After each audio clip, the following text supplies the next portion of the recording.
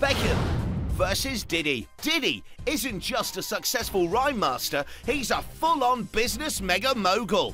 Let's look at the facts. Footballer Beckham.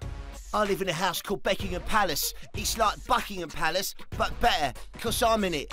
I've got this one in a bag. Topping this year's Rich List as the richest British sports star ever, Beck's earned $46 million in the last year alone and has cashed in further millions by selling his body.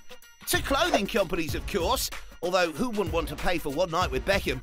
I, for one, would like to see how he bends it. Tell him about the other houses. as well as his $15 million Hertfordshire pad, Beckingham Palace, which features a four foot barbecue valued at £100,000. David also has a $22 million Beverly Hills home and a 5 million pad in Dubai. Tell him about the cars. I was getting to that. He also has a wide ranging collection of sports vehicles, including a Porsche Turbo, a Rolls Royce Phantom, a Bentley, a Chevy Camaro, and a Jeep Wrangler. Rapper Diddy.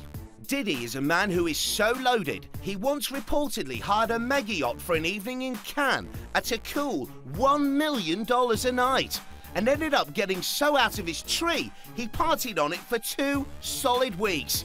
Is he broke though? Is he? no, he's not broke. Yeah, quit jabbering and just give us the damn result. I got money to make. Okay, but first, do you want me to drop kick you in the face?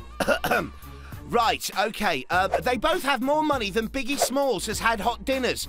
But uh, who's got the most? Let's see. Winner, Diddy!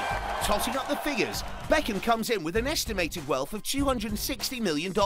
However, P. Diddy sees Beckham's 260 mil and more than doubles it. What a staggering total! Estimated wealth at 580 million. Eat that, Becks. He's the half billion dollar man.